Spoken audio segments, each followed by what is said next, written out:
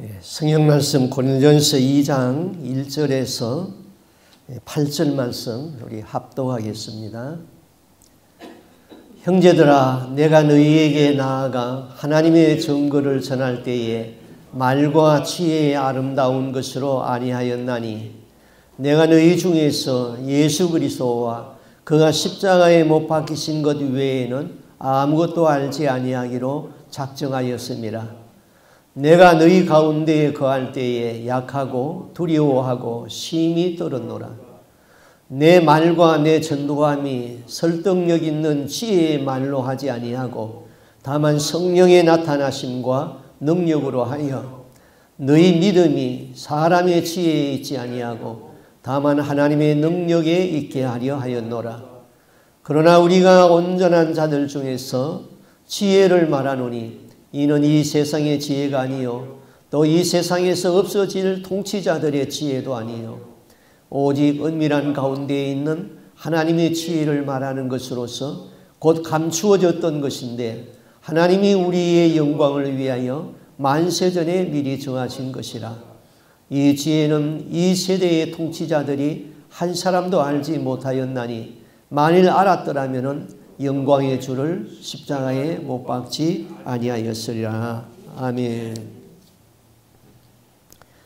예, 오늘 읽은 말씀 중에 2절에 내가 너희 중에서 예수 그리스도와 그 십자가에 못 박히신 것 외에는 아무것도 알지 아니하기로 작정하였다.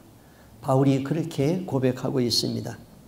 예수 그리스도와 그의 십자가에 못 박힌 것 외에는 예수 그리스도와 십자가 그것이 복음의 핵심인 것입니다.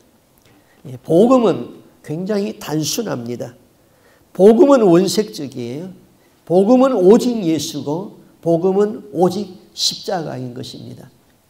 요새 가끔 그 제가 방송 설교를 들어보면은 어떤 사람의 설교는 그 설교 중에 예수라는 말이 한 번도 안 나오고 회개하라는 말이 한 번도 없고 지옥이라는 말이 한 번도 없는 그런 설교를 하는 사람들이 있습니다.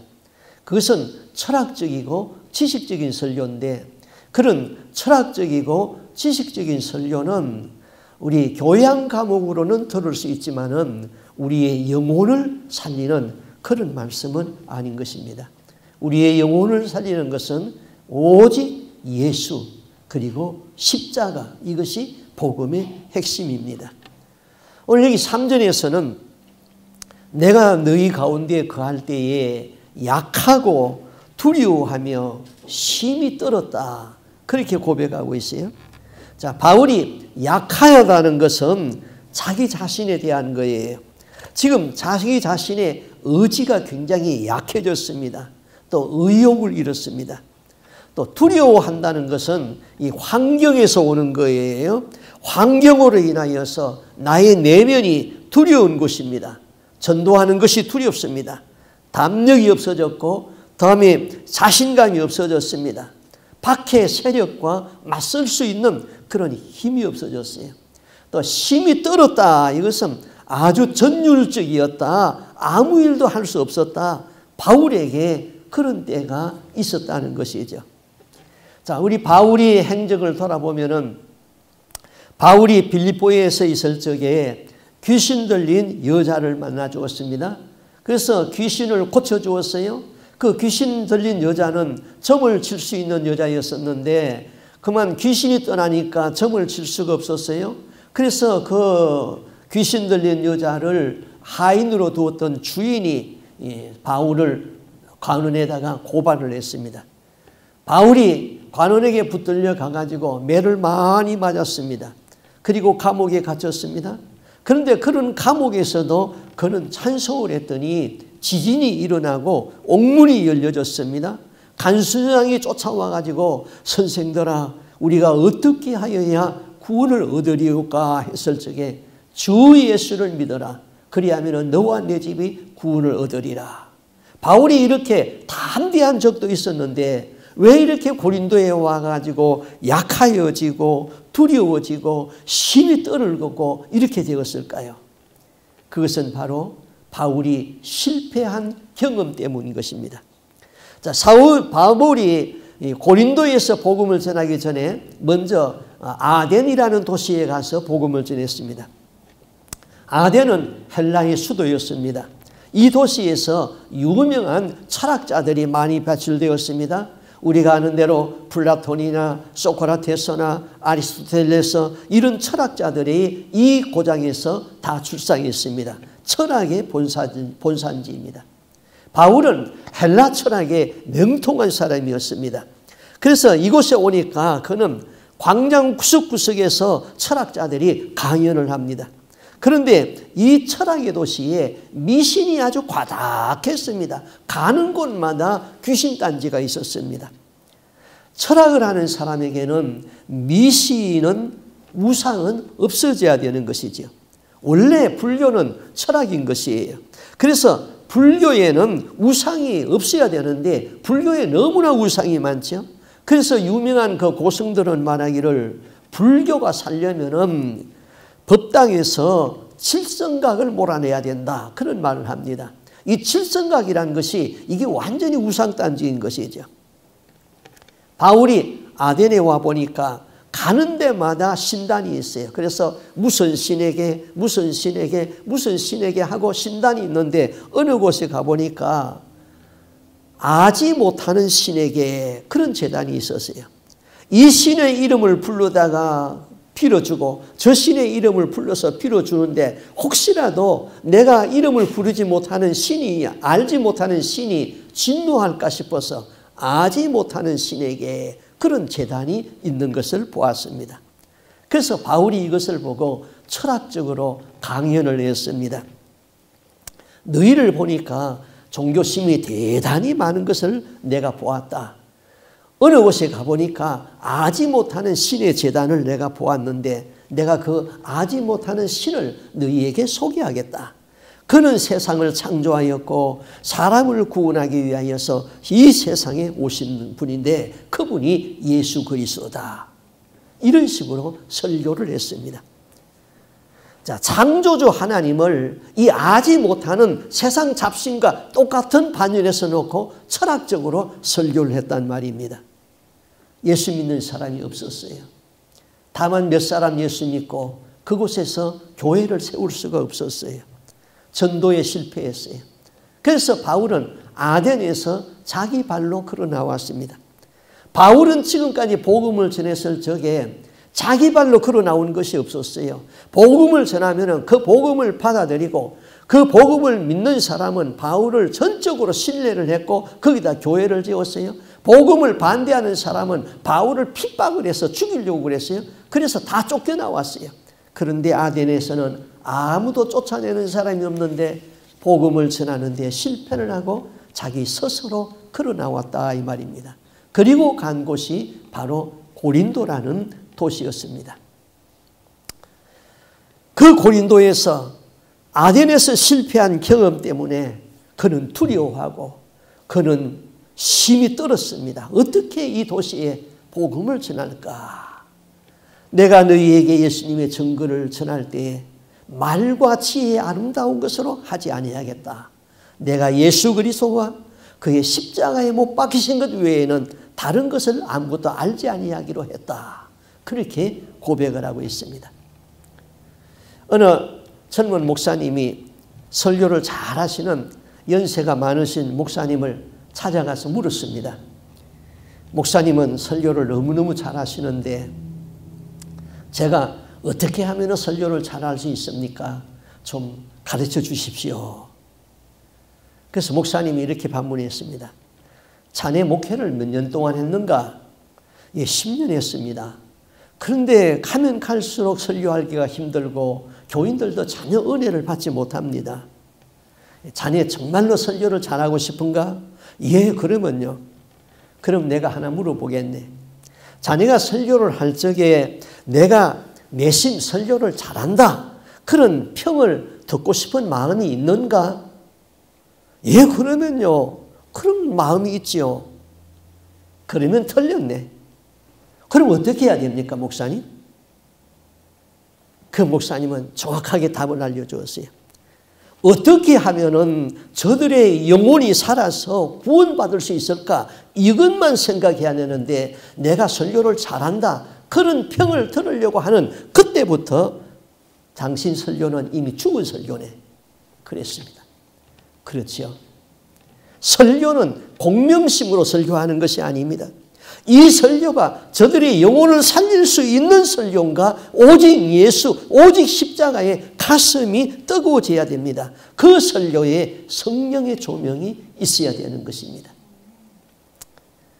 저는 설교를 1년 전 걸 미리 다 설교해놨, 준비해놨다고 그랬죠. 그러니까 설교할 적에는 한 10번도 더 읽어요. 20번 막 계속 읽어요. 어? 원고를 거의 외우다시피 해요. 그러다가는 어떤 제목에 가서 이 설교가, 이 내용이 저들의 영혼을 터치할 수 있는 것인가? 그걸 자꾸 생각해요. 그렇지 않으면 지워버려. 빼버려. 예. 설교는 사람의 영혼을 살려야 되는 것이죠. 우리가 여기에 교양 강좌 들어온 것 아니에요. 하나님의 말씀을 듣고 내가 어떻게 영혼이 살아가지고 천국 갈 수 있는가 그 말씀을 들으러 온 것이죠. 우리가 아는 대로 최봉성 목사님은 우리에게 잘 알려진 사람이죠. 너무나도 권능이 많았기 때문에 봉석이라는 이름 대신에 권능이라는 이름으로 최권능 목사라고 그렇게 우리는 알고 있습니다. 이분은 예수 믿고 천당 가십시오. 이걸 그냥 줄여서 예수 천당 그랬어요. 지나가는 사람한테 예수 천당 그러면은 거기에 성령이 역사해 가지고는 집에 가서 누워서도 귀에서 예수 천당 집에 가서 또 잠을 자도 예수 천당 그것만 자꾸 들려서 결국 교회를 나가고 그랬어요. 그래서 어느 날 이 사람이 일본 순경이 말을 타고 가는데 말 귀에다 대고 예수 천당 그랬어요. 말이 놀래가지고는 벌쩍 뛰니까 그만 말에서 떨어져 버렸어요. 그러니까 그 일본 그 대장을 모시고 가던 형사들이 칼을 갖다 대면서 죽이려고 그러는 거예요. 그때 이 사람이 이렇게 말합니다. 나를 죽이면 너희 대장 죽는다. 이거 협박한 거 아니에요. 그 속에서 성령이 역사하니까 나온 거예요. 너희들이 날 죽으면 이 말에서 떨어진 이 대장 죽는다. 겁이 나서 못 죽였어요.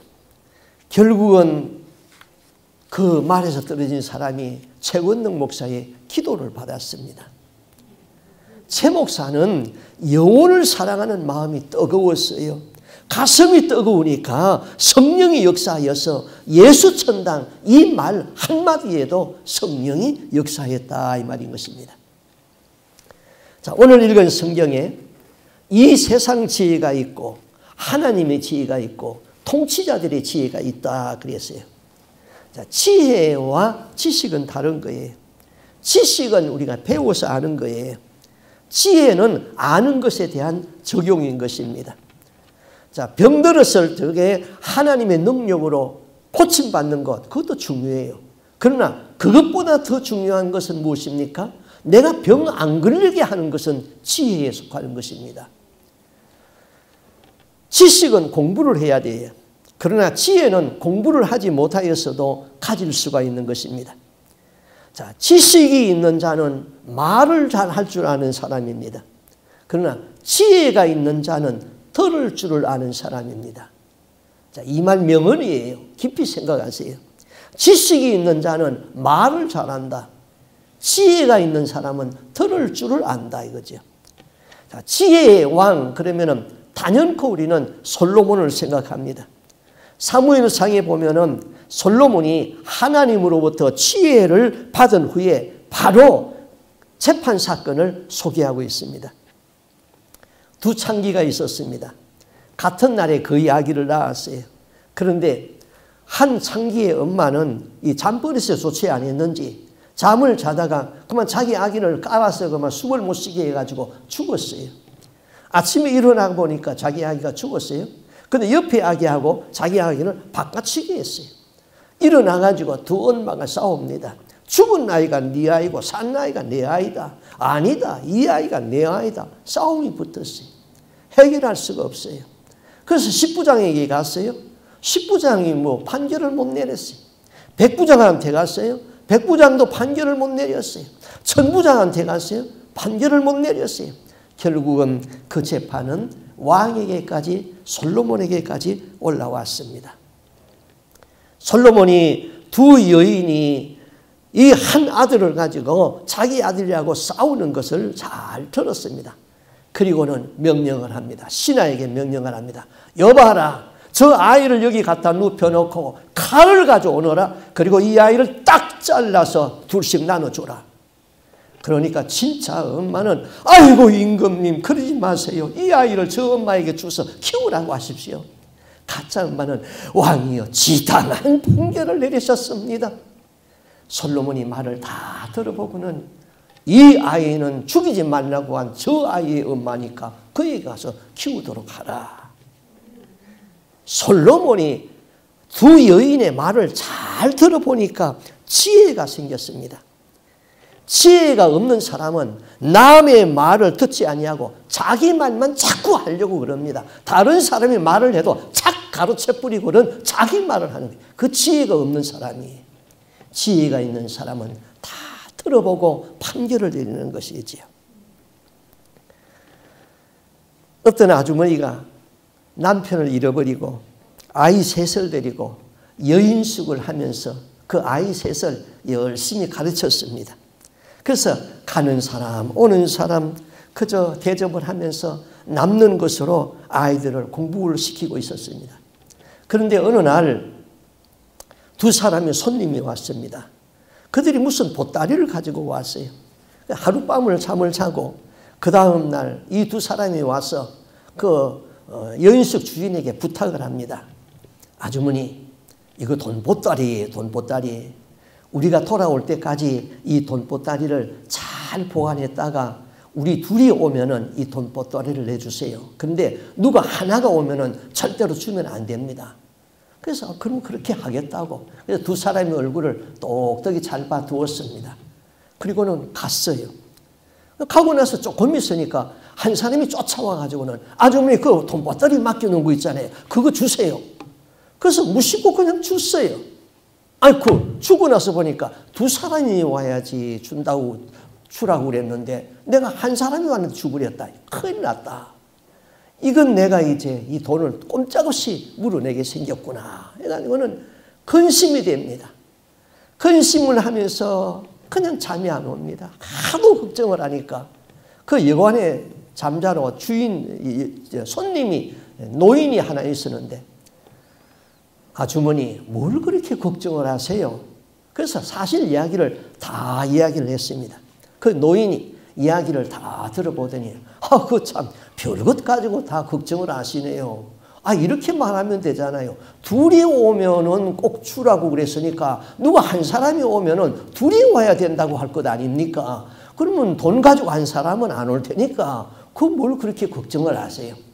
아, 그 말을 듣고 보니까 안심이 됐어요. 그랬어요. 자, 지혜가 없어서 사람이 고생을 하는 거예요. 하나님이 지혜를 주시면은 이 세상 사는 것이 쉬워지는 거예요. 돈 버는 것도 내 지혜대로 하면은 그 안 돼요. 하나님이 지혜를 주셔야 돼요.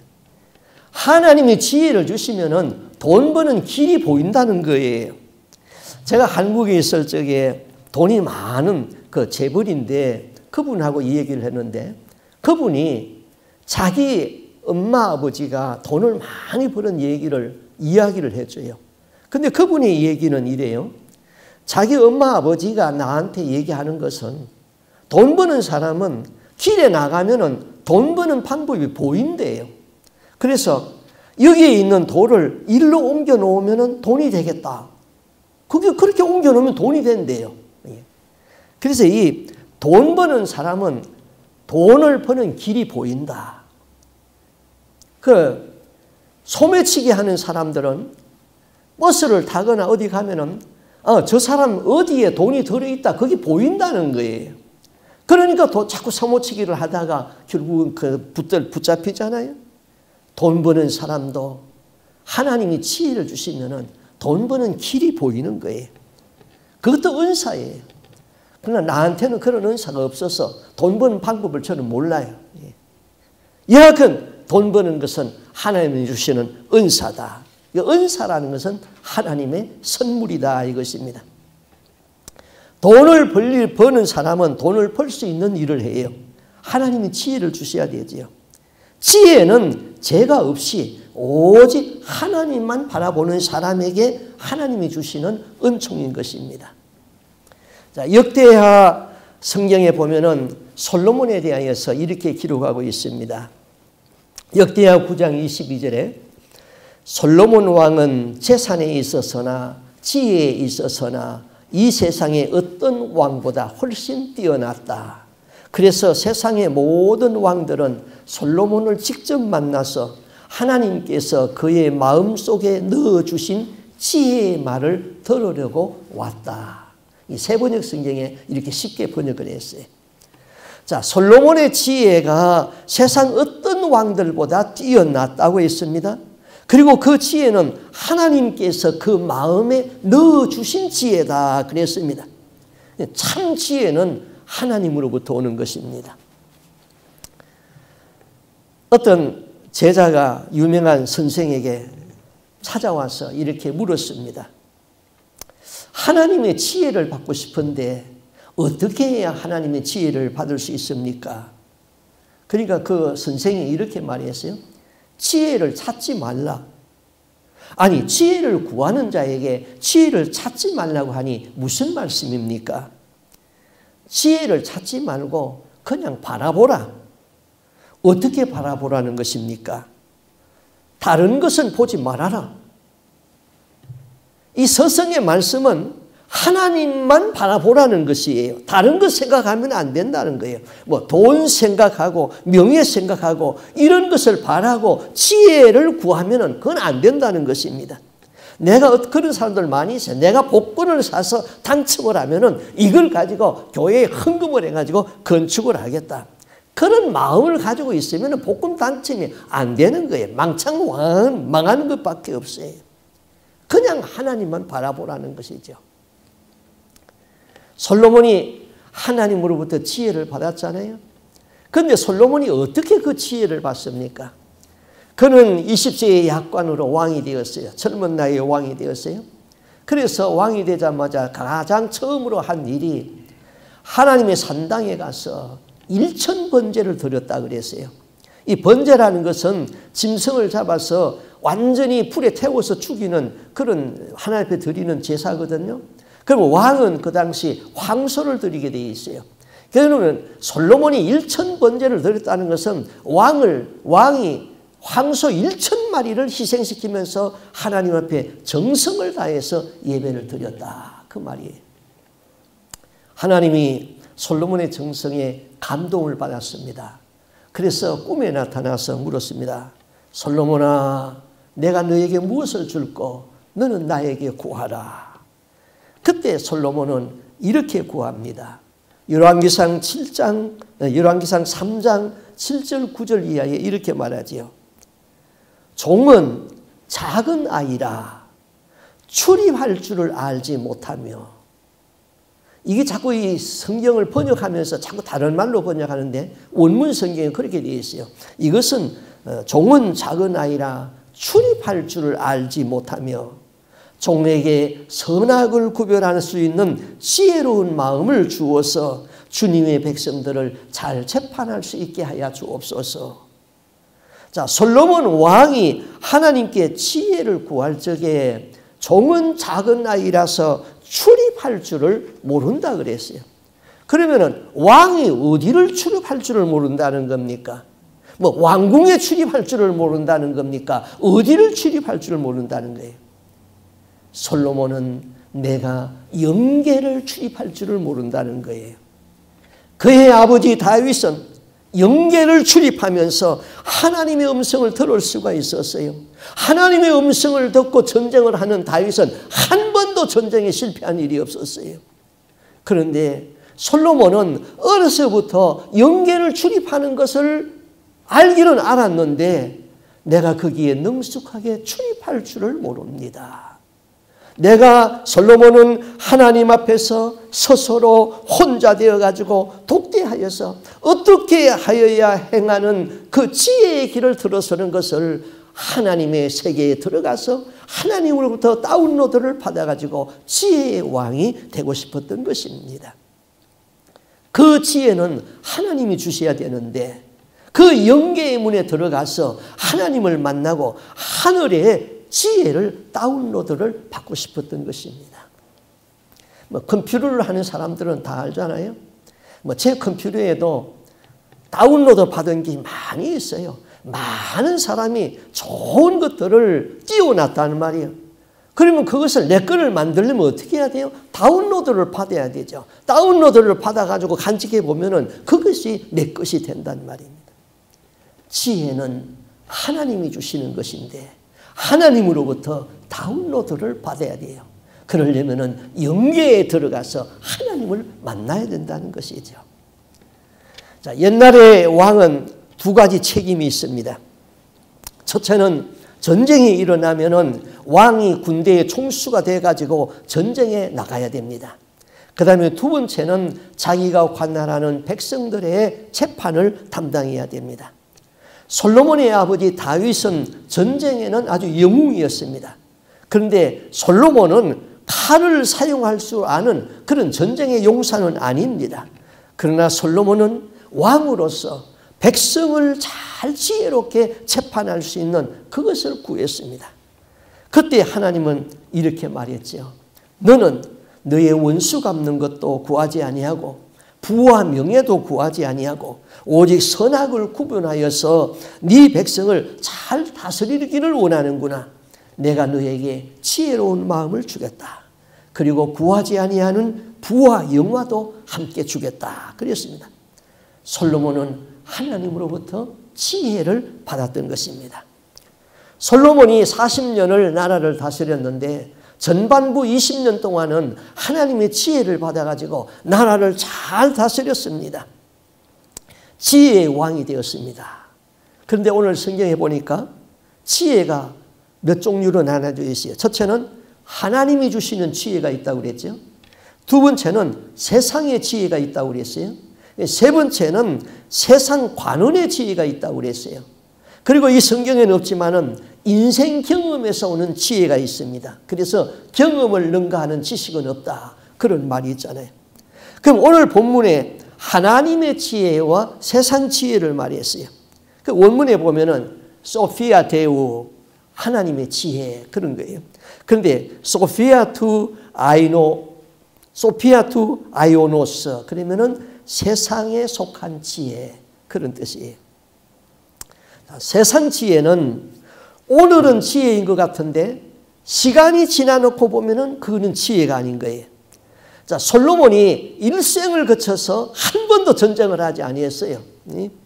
태평성세를 누렸어요. 그건 왜 그랬을까요? 그가 하나님의 지혜도 받고 세상 지혜도 다 받았는데 세상 지혜를 사용했습니다. 세상 지혜는 뭔가요? 전쟁을 하지 않으려니까 적국과 전쟁을 해야 되는데 정략 결혼을 했어요. 그래서 결혼으로 화친 정책을 썼습니다. 솔로몬이 사는 동안에 주위의 나라들과 전쟁을 하지 아니하고 각국의 그, 그 나라들의 왕의 딸들을 다 자기 부인으로 삼았습니다. 자기 부인으로 데리고 왔어요. 각국 나라에서 공주를 왕비로 데리고 왔어요. 주의 나라와 인척 관계를 맺었습니다. 솔로몬의 부인이 왕후가 300이요. 왕후를 돕는 그 여인들이 700명이에요. 그러니까 솔로몬의 부인이 1000명이에요. 그러면은 솔로몬은 전 세계에서 아주 미인들만 골라서 자기 왕으로 자기 부인으로 데려왔습니까? 아니에요. 못생긴 박색이라도 힘이 있는 나라의 왕의 딸이면 자기 부인으로 데리고 왔어요. 그래서 화친 정책을 쓰니까 나라가 평안해졌어요. 솔로몬의 부인이 300이고 그 다음에 비빈이 700명이다. 1000명의 부인을 거느리고 살았다. 예, 제가 이 성경 공부를 하다가 그래요.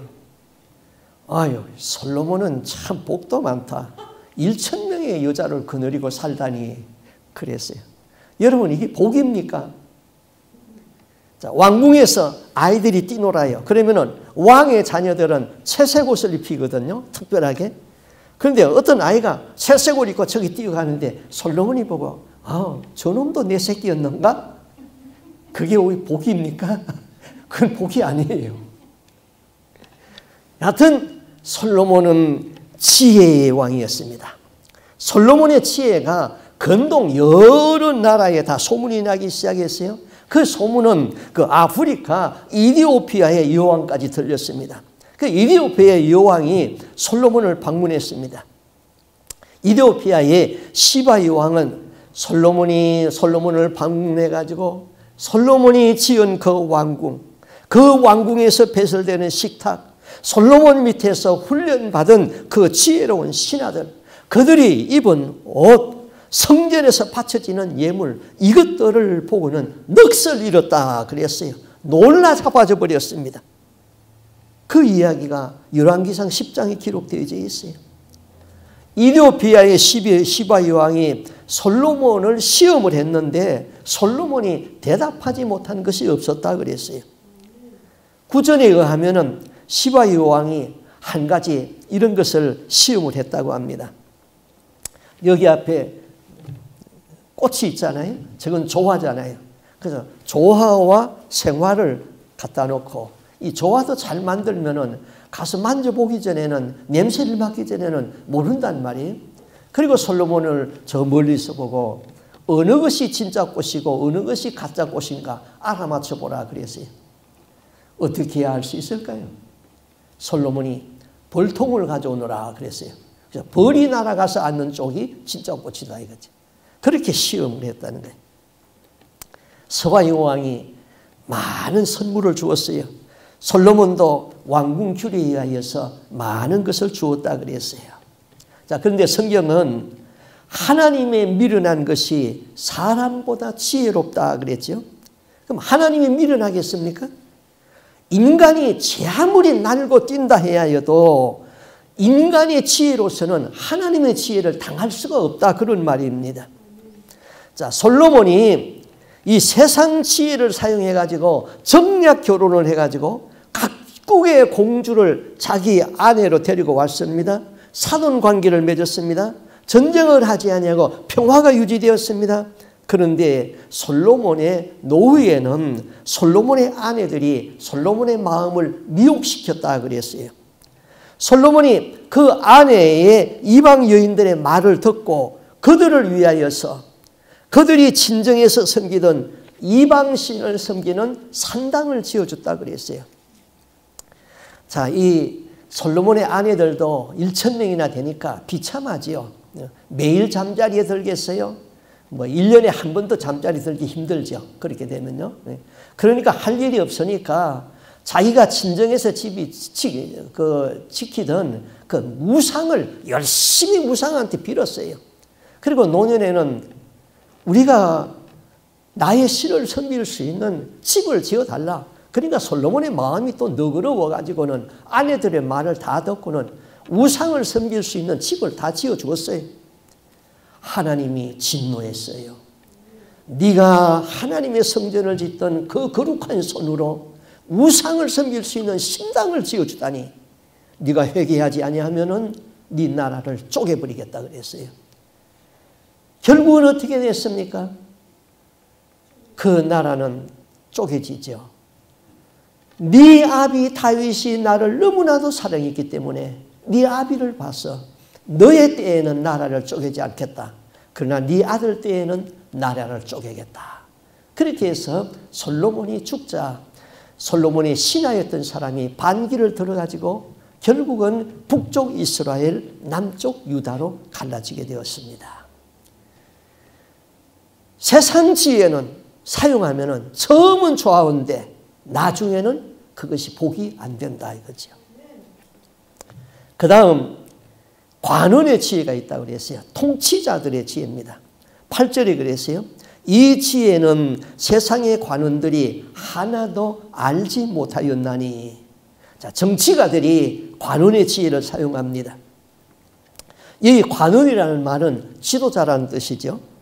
자, 요한복음에 보면은 당시 대제사장인 가야바가 그 예수를 십자가에 못 박아야 한다는 주장을 이렇게 합니다. 네, 가야바는 당시 이스라엘 공회의 의장이면서 대제사장이었습니다. 그는 아는 체하고 똑똑한 채 이렇게 말합니다. 요한복음 11장 49절이에요. 너희는 아무것도 알지 못하는도다. 한 사람이 백성을 위하여서 죽어서 민족 전체가 망하지 않는 것이 당신들에게 유익한 것을 생각하지 못하고 있어. 이 가야바의 말은 공리주의적 입장에서 말하는 겁니다. 예수가 죄인이기 때문에 죽인다가 아닙니다. 예수는 죄가 있건 없건 상관없이 죽여야 된다는 겁니다. 죄가 없으면은 죄로 만들어 가지고 죄인으로 만들어 가지고 죽여야 된다는 것이죠. 가야바가 말한 의미는 예수 때문에 우리 민족이 로마의 미움을 받아서는 아니 된다.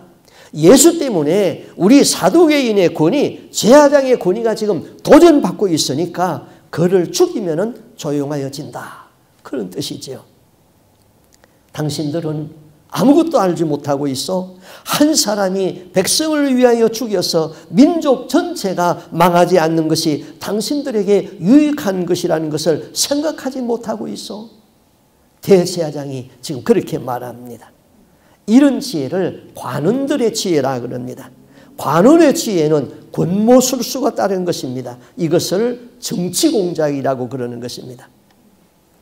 제가 어렸을 적에는 조봉암 선생이 있었어요. 뭐 초등학교 다닐 때니까 그때 이승만 대통령하고 이승만이하고 조봉암이 다 대통령의 후보로 나왔습니다. 그런데 얼마 후에 조봉암이 체포가 됐어요. 체포가 됐는데 제명이 간첩이었어요. 그래서 간첩이라는 죄로 그는 재판을 받고 사형을 받아 죽었습니다. 그런데 그로부터 52년이 지난 후에 2009년에 과거사 정리위원이라는 것이 생겨가지고 이 사건은 인권 유린이고 정치 탄압이었다. 그렇게 결론을 내고 무죄 선고를 내렸습니다. 그러나 그 지난 52년 동안에 그 가족들은 연자죄에 묶여가지고 외국 여행도 제대로 하지 못하고 국가 공직에는 취직도 못하고 본인은 이미 죽어졌습니다. 얼마나 많은 피해를 당하는지 모르는 것이죠. 조봉왕이 사형 집행하던 날 이런 말을 남겼습니다. 나에게 죄가 있다면 많은 사람이 고루 잘 살 수 있는 정치운동을 한 것밖에 없다. 나는 이 박사와 싸우다가 졌으니 성자로서 패자가 이렇게 죽음을 당하는 것은 흔히 있을 수 있는 일이다. 다만 내 죽음이 헛되지 아니하고 이 나라의 민주 발전에 도움이 되기를 바랄 뿐이다. 조봉암은 정치 공작으로 죽었습니다. 우리나라의 역사에서 5공화국, 6공화국 때는 정적에게는 공산주의다, 간첩이다 그런 프레임을 만들어 가지고 감옥에다가 집어넣어 버렸습니다. 요새도 이 정치가들이 정치 프레임을 합니다. 이것을 프레임 씌우기라고 합니다. 지금 한국의 문재인 정권은 어떤 프레임을 씌웁니까? 친일파 프레임, 프레임을 씌워버려요. 친일파 프레임. 아, 우리가 지금 해방된 지가 70년이 더 됐는데 70년 전에 자손 3세, 4대, 5대까지 내려갔는데 뭐 그 자손들에게 친일파해가지고는 프레임을 씌웁니까? 그거는 네 편, 내 편 칼라내 가지고는 내 편이 가지고는 선거를 해서 이기겠다는 그런 정치 프레임인 것이죠. 정치는 원래 백성을 위하고 나라를 위하, 위하는 것이 바른 정치인데 권력을 잡기 위하여서 정치 공작을 한다 이 말입니다. 그러면은 억울한 일을 만들어 놓아요. 그래서 정의를 짓밟아 버려요. 그러한 정치가들은 항상 뒤끝이 안 좋은 것입니다. 세상 지혜는 속된 말로 이 관원의 지혜, 세상 지혜 이런 거는 이 잔머리 굴리는 거예요. 잔깨를 부린다. 스스로 속이는 자라 그랬어요. 잔머리를 굴리게 되면은 그 이득은 자고 새가 낳지 아니한 자기의 알을 품는 것 같이 그것들이 다 날아가 버린다 그랬죠. 언젠가는 그 다 자기한테 악으로 돌아온다. 다 날아가 버린다. 자, 성경에서 잔머리를 굴린 사람의 대표가 사람, 대표되는 사람이 있어요. 누군지 아십니까? 야곱이라는 사람이에요. 야곱. 야곱은 이 잔깨를 부리고 잔머리를 굴리는 그 요동을 잠재우는 데에 20년이 걸렸습니다.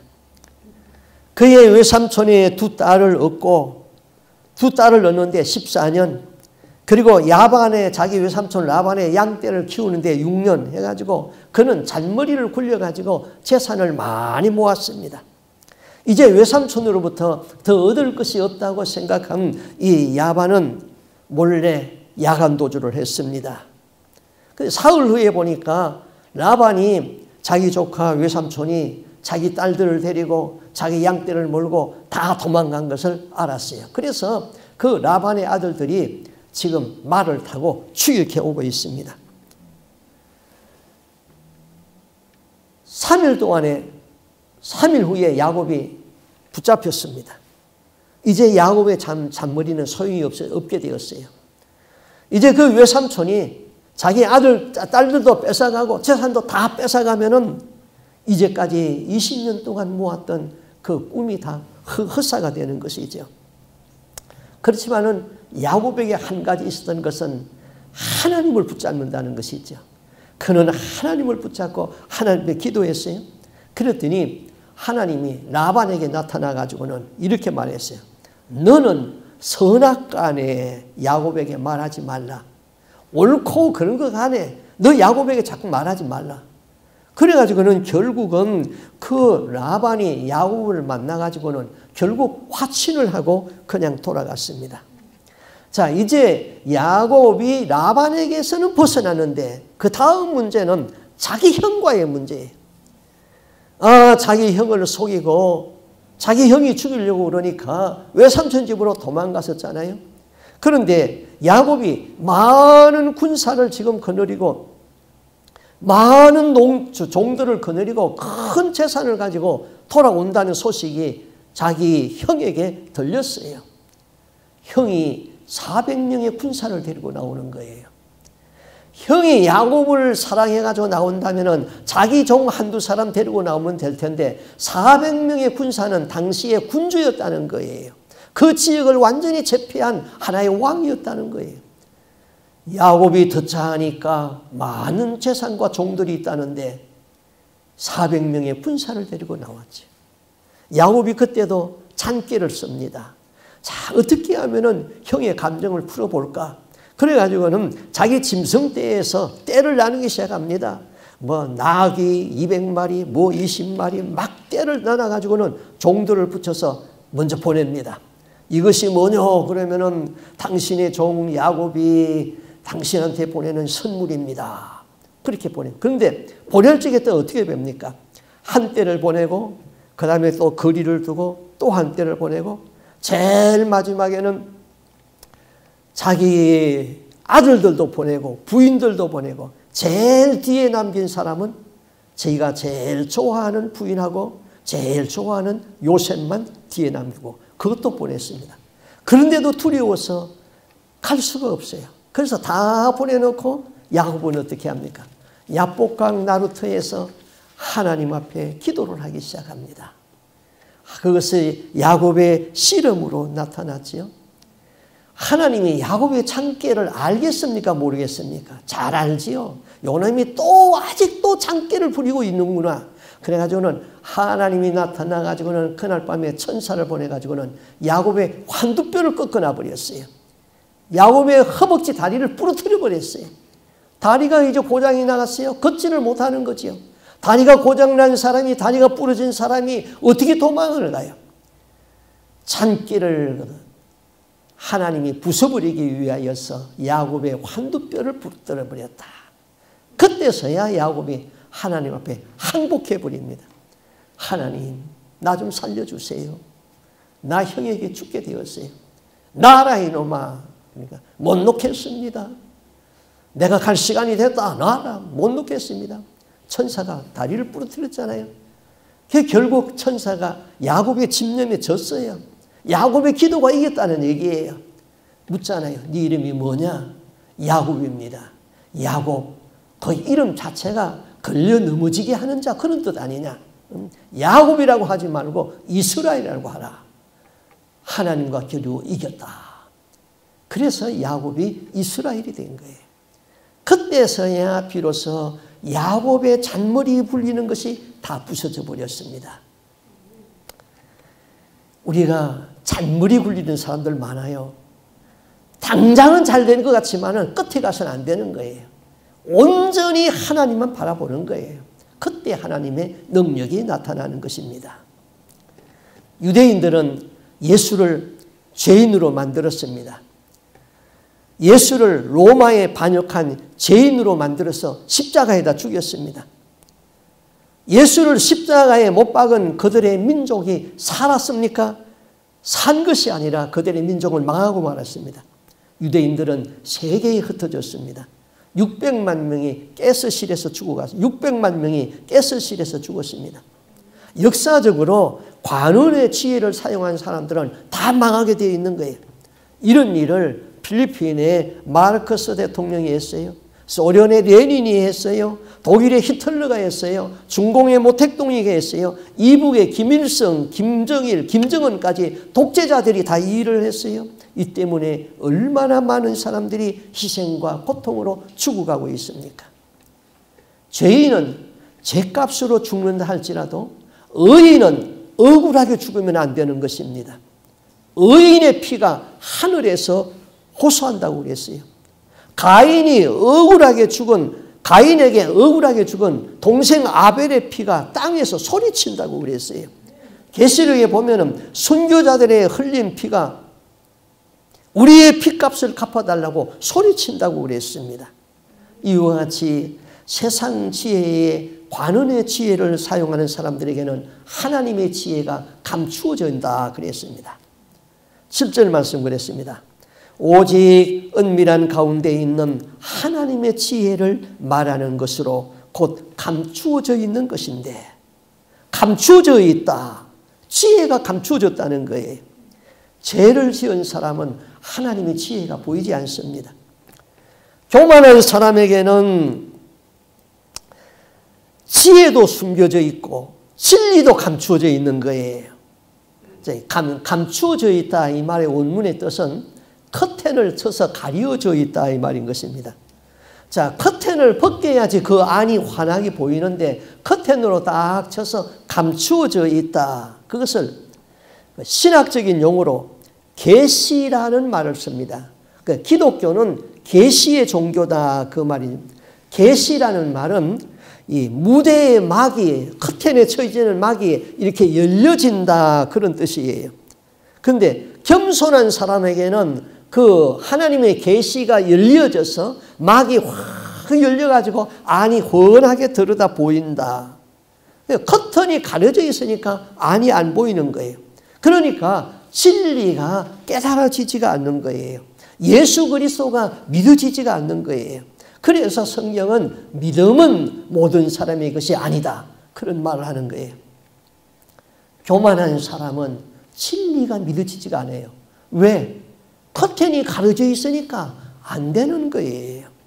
겸손하여야지 예수가 믿어지는 거예요. 겸손하면 하나님의 진리가 깨달아지는 거예요. 고린도전서 1장 24절에 오직 부르심을 입은 자들에게는 유대인에게나 헬라인에게나 그리스도는 하나님의 능력이요 하나님의 지혜이니라. 자, 지혜 중의 지혜는 멸망당하지 아니하고 우리가 구원받는 거예요. 그 지혜는 십자가의 지혜인 것이죠.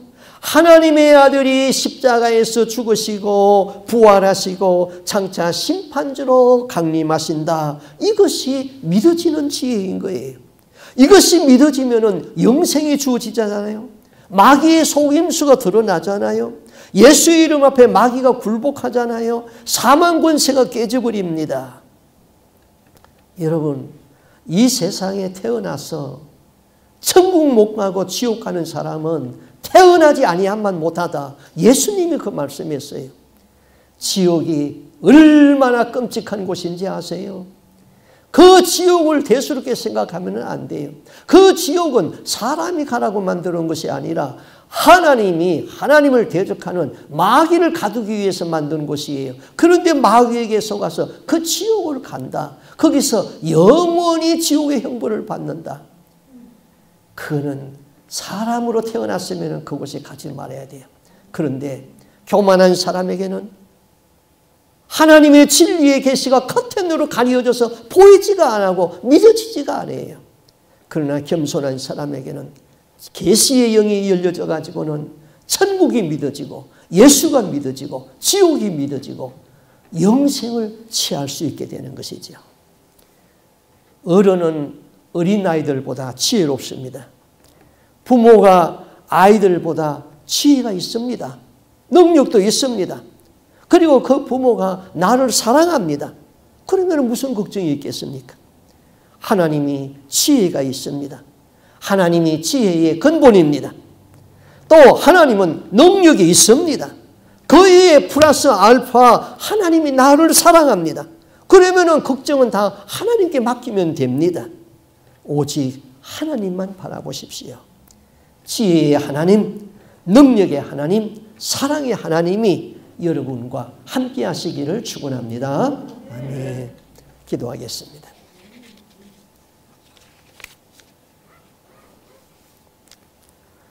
주 하나님 아버지, 기도의 골방에서 오직 하나님만 바라보게 하여 주시옵소서. 우리의 삶에서 내가 가지고 있는 조그마한 지혜와 지식을 자랑하지 아니하고 찬게 부리지 않게 하여 주시옵시고 오직 하나님이 주시는 지혜를 바라보고 하나님 앞에 기도의 골방에 자기를 던질 수 있게 하여 주시옵소서. 우리가 세상의 허망한 일에 굴복하지 아니하도록 도와주시고 하늘의 능력을 다운로드 받을 수 있기를 원합니다. 내가 말을 많이 해가지고 어리석음이 드러나지 않는 그런 어리석은 사람이 되지 않게 해주시옵시고 다른 사람의 말을 잘 들을 수 있는 지혜로운 사람이 되어서 그래서 그 사람을 위로할 줄도 알고 그 사람을 사랑할 줄도 알고 그 사람을 섬길 수도 있는 그런 지혜로운 사람들이 되게 하여 주시옵소서. 하나님 우리가 다 겸손한 사람이 되기를 원합니다. 겸손한 사람에게는 계시의 영이 임하여서 하나님 커튼이 열려지고 예수 그리스도가 믿어지고 진리가 믿어지고 심판이 믿어지기 때문에 우리는 하나님을 바로 바로 섬길 수밖에 없습니다. 우리로 하여금 오늘도 겸손하게 해주시고 겸손히 내 몸이 훈련되게 해주시고 겸손히 내 몸의 체리가 될수 있도록 성령께서 날마다 우리를 주관하시고 인도하여 주시옵소서. 여기에 있는 우리 모든 성도는 한 사람도 구원에서 나무되는 사람이 없이 다 천국에 들어가서 함께 주님께 영광 돌릴 수 있는 복된 사람들이 되기를 소원하고 존귀하신 예수님 이름으로 기도하옵나이다. 아멘.